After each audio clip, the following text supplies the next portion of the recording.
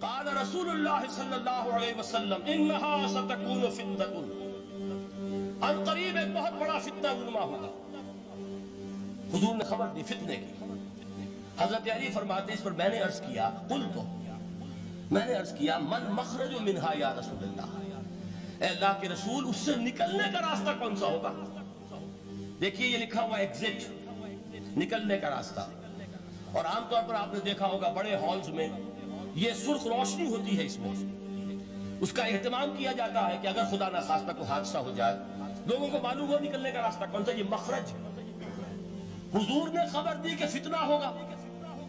तो देखिए, मैं एक बात अर्ज़ किया करता हूँ तवज्जो कीजिए। हमारा हाल क्या है? हम बड़े रैशनलिस्ट किस्म के लोग हैं। ये जमाना रैशनलिज्म का है। अगर हम होते तो क्या पूछते? वो फितना क्या होगा? क्यों होगा? कहाँ से आएगा? हमारे सवाल ये होते हैं, कब आएगा, क्यों, कहा, कब, कैसे? इन सब की हैसियत इल्मी सवाल की है भाई, कब आएगा? एक इल्म है। कैसे आएगा? इल्म है। कहाँ से आएगा? इल्म है।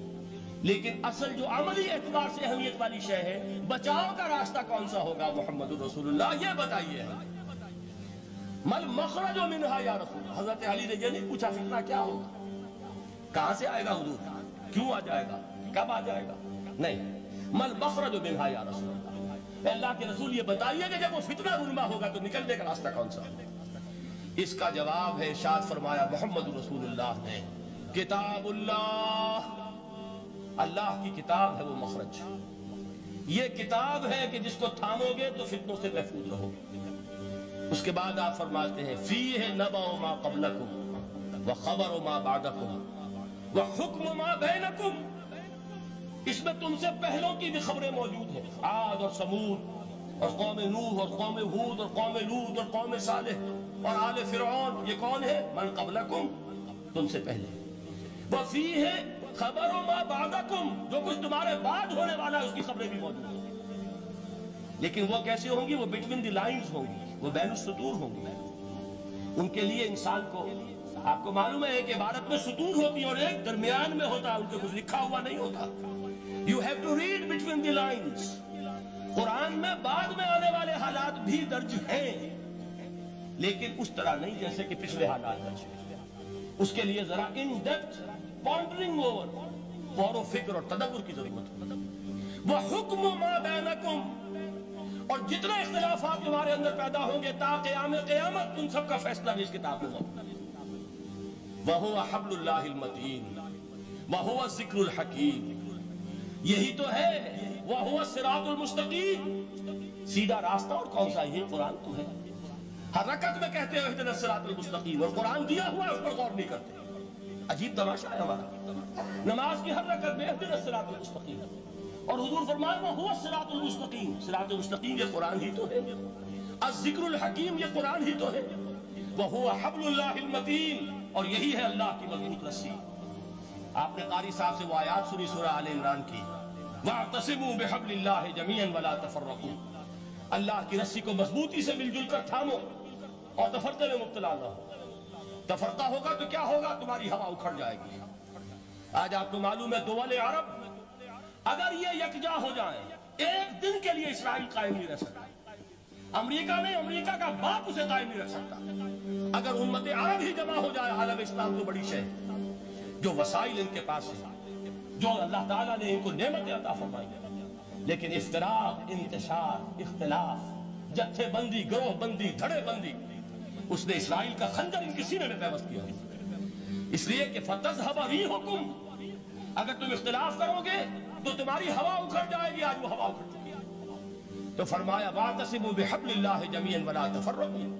अल्लाह की रस्सी को मजबूती के साथ मिलजुल कर थामो और तफक्कुर में मत पड़ो हुजूर फरमा रहे वो अल्लाह की रस्सी कौन सी हुआ हब्लुल्लाहिल मतीन। यही कुरान है अल्लाह की मज़बूत रस्सी। अल्लामा इकबाल ने क्या खूब कहा है? अल्लामा इकबाल ने कुरान और हदीस के हकाइक को जिस तरीके से अशार का जामा पहनाया, वो तो खुद कहते हैं, गौहरे दरियाए कुरान सुस्तान। मैंने कुरान मजीद के दरिया से मोती निकाल कर अपने अशार के अंदर मैंने चुन दिए। मेरा काम और कुछ नहीं है। मोती कोई भी गवास पैदा नहीं करता, दरिया की गहराई से निकालना ये मेरी हिकमत नहीं है जो मेरे अशार में है। ये मैंने कुरान मजीद के दरिया में गौता जनी करके उससे ये मोती निकाली। गौहरे दरियाए कुरान अब देखिए इसी हदीस के इस टुकड़े को कैसे शेर में लाए हैं। अज यकाईनी मुसलमान जिंदास्त पै करे मिल्लत कुरान ज़िंदा हस्त। मुसलमान की ज़िंदगी तो एक आइन के बदौलत है। ये आइन कुरान, जो कहा था कभी, कायद आज़म मरहूम ने, जब पूछा गया था कि आपके पाकिस्तान का दस्तूर क्या होगा? क्या फरमाया था, याद कीजिए, कि हमें किसी नए दस्तूर की ज़रूरत नहीं, हमारा दस्तूर चौदह सौ बरस पहले तय हो चुका ये हमारी बदकिस्मती है। जो कुछ कहा था कायद आज़म ने God has given us a golden opportunity to prove our worth as architects of a new state and let it not be said that we didn't prove equal to the task मैं माजरत के साथ माजरत कि वाकया यह है कि हम उसके इक्वल टू द टास्क साबित नहीं हुए। कायद आज़म का दिया हुआ पाकिस्तान आज दुनिया में मौजूद नहीं है। उसका एक हिस्सा अपने नाम से दस्तबरदार होकर बांग्लादेश बन चुका है। उसने अपनी तारीख को खैरबाद कह दिया। हालाँकि मुस्लिम लीग की जन्मभूमि ढाका है। उन्नीस सौ छह में ढाका में मुस्लिम लीग ने जन्म लिया और अगर वो सिर्फ़ हमसे अलहदा होता या गहरा सदमा होता। लेकिन ये कि उसने जब नाम बदला है, दर हकीकत उसने अपने तारीख से, अपने पसमंदों से इस्तीफा दिया। ये हमारा दोहरा, हमारे लिए सदमे की बात है। क्या दो यमन मौजूद नहीं है? इनमें से कोई एक भी अपना नाम छोड़ने को तैयार होगा? क्या दो जर्मनी दुनिया में मौजूद नहीं कोई एक भी इनमें से अपना नाम छोड़ेगा? क्या दो कोरिया नहीं दो वियतनाम नहीं तो क्या दो पाकिस्तान नहीं हो सकते थे? हो सकते थे। मैं ये कहा करता हूँ कि यह गहरा सदमा है अलीदगी और दोहरा सदमा है और उससे कहीं ज़्यादा बड़ा कि उन्होंने अपना नाम बदल दिया, अपनी आइडेंटिटी चेंज कर उन्होंने वो नाम अपने माथे से उतार कर खरीद बंगाल अंदर दबो दिया। ये बहुत बड़ी सजा है जो हमें मिली है। क्यों मिली है? कि हमने 25 बरस तक उस कानून जिसको कहा था कि वो हमारा आइन है, उसको आइन नहीं बनाया। हमने दुनिया के सामने धोलियाँ पसारी। हमने तरह तरह के निजामों को आजमाया। लेकिन उस कुरान की तरफ़ पेशकदमी नहीं की अल्लाह ताला ढील देता है, लेकिन सजा भी बहुत सख्त होती है। इन बदशरबे का लशदीद। वो हम पर कोड़ा बरसा है। तारीख इंसानी की अजीम तरीन शिकस्तों में से एक शिकस्त है, कि जो हमारे माथे पर कलंक के टीके की तरह मौजूद है। अल्लाह करे कि आइंदा ये तारीख अपने आप को न दोहराए। लेकिन मैं कर देता हूँ, आपसे जो हमारे लक्षण है, जो हमारा तर्ज अमल है, जो हमारे लैलो नहार है, जो हमारा अंदाज है अल्लाह के दीन का इस्तेजार तमस्कुर। जिस तरह अल्लाह के साथ मज़ाक हम कर रहे हैं, उसका शायद इससे भी कहीं ज़्यादा बुरा नतीजा निकले। अल्लाह मुझे और आपको और अर्ज़ मुकदस पाकिस्तान को उस अंजाम से बचाए। लेकिन उसके लिए काम करना होगा। सिर्फ़ कहने से बात नहीं बनेगी। कमर कसनी होगी। हिम्मत जो है फिर इंसान को। असर नौ, एक नई तामीर। एक आज़म, एक हाथ में कुरान और एक में तलवार लेकर। यह उम्मत फिर दोबारा मैदान में आए। बहरहाल अर्ज़ ये करना था। इकबाल कहता है, अज यकाइनी मुसलमान ज़िंदा हस्त। पै करे मिल्लत कुरान ज़िंदा हस्त। माँ हमा खाको दिले आगाह ऊस्त। एहतसामश कुन के हब्दुल्लाह ऊस्त तानो इसको मजबूती के साथ हब्दुल्ला यही कुरान। ये यकाइनी और पैकर कुरान की ज़िंदगी पैकर मिल्लत की ज़िंदगी जो है इस कुरान की बदौलत है। तो हुजूर ने क्या फरमाया?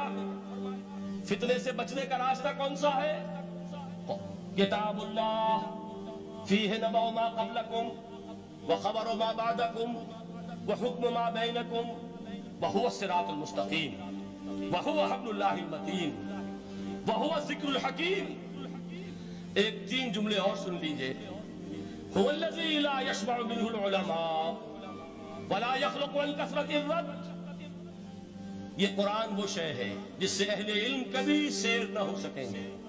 वला तनकजी अजाए वो इसके अजायब कभी खत्म नहीं होंगे। ये हीरो की वो कान नहीं है कि जो कभी खाली हो जाए, कि सारे हीरे निकल चुके हैं। अब मजीद हीरे नहीं है, नहीं। इल्म और हिकमत के हीरे। और हिदायत और हिकमत के मोती इसमें से अबदुल्लाबाद तक निकलते रहे। ज़रूरत सिर्फ़ खोदने की है। मैंने वो लफ्ज इस्तेमाल किया था। आज का कुरान खोदना होगा। आज की हिदायत इस कुरान से निकालनी होगी। कुरान जब नाजिल हुआ ऑन दी सरफेस बिल्कुल ज़ाहिर, वो थी उसकी हिदायत जो उस दौर के लिए ज़रूरी थी। हमेशा की हिदायत इसके अंदर रख दी गई है। इसमें मुजमर है, इसमें छुपी हुई है। उसके लिए तदब्बुर की ज़रूरत है। किताब का मुदब मुबारक लोग तदब्बुर करें, इसकी गहराइयों के अंदर गौताजरी करें। ला तनकजी इसके अजायब कभी खत्म नहीं होंगे। बला यशमा कभी इससे शेर नहीं होंगे। आपको सख्त भूख लगी होती है। और खाना खाने की थोड़ी देर के बाद अब आपका हाथ रुक जाता है। शेर हो गए। बेहतरीन खाना है, लेकिन नहीं खा सकते। अगर आम हालात में वो आता तो कभी ना छोड़ते लेकिन अब वो आपका मेजबान कह रहा कुछ और नहीं। जरा फरमाइए जरा ये भाई नहीं, मैं अब भर चुका ये आप कहते हैं कि नहीं? हजूर फरमाए, ये कुरान वो शय नहीं है जिससे अहले कभी शेर हो सके। उनकी प्यास बढ़ती चली जाए उनके अंदर quest of knowledge search for wisdom बढ़ती चली जाए कभी भी इंसान ये महसूस नहीं करेगा कि मुझे जो लेना था मैं ले चुका बल्कि ये कि जैसे जैसे कदम आगे बढ़ेंगे, तहजीब के, तमद्दुन के, इल्म के, उतने ही कुरान जो है वो आगे बढ़ता चला जाएगा, हर दौर की रहनुमाई के लिए। लातन कजिया जाए वो वला कसरत बार बार के पढ़ने से। इस पर बोसीदगी तारी नहीं होगी दुनिया की और किताबें हैं, एक दफ़ा पढ़ लेंगे, दो दफ़ा पढ़ लेंगे, तीन दफ़ा पढ़ लेंगे, चार दफ़ा पढ़ लेंगे, फिर जी नहीं चाहेंगे। लेकिन ये किताब वो है, इमाम शाफी का मैं वाक्य आपको सुनाता हूँ। वो ये कहते हैं कि एक मरतबा मेरे जेन में ये सवाल आ गया कि इजमा के लिए भी कुरान मजीद में कोई सनद है, दलील है? सब मानते हैं कि इजमा जो है, सोर्स है कुरान के, इस्लामी कानून की। जिस पर कि उम्मत का इजमा हो जाए। तो कहते मैंने 300 मरतबा कुरान पढ़ा, अव्वल से आखिर तक, सिर्फ़ इस दलील की तलाश में 300 मरतबा मुझे नहीं मिली। 301वीं मरतबा जब पढ़ रहा था, मुझे रोशनी मिल गई। वो जब तक गैर मोमिन के जो अल्फाज आए नुवल्लही मातवल्ला वनुस्लही जहन्नम। जो कोई शख्स मुसलमानों के रास्ते को छोड़कर कोई और रास्ता इख्तियार करेगा हम उसे उसी के हवाले कर देंगे और जहन्नम में पहुँचा देंगे। मालूम मुसलमानों का जिस पर इजमा हो जाए, उसको भी एक सनद हासिल।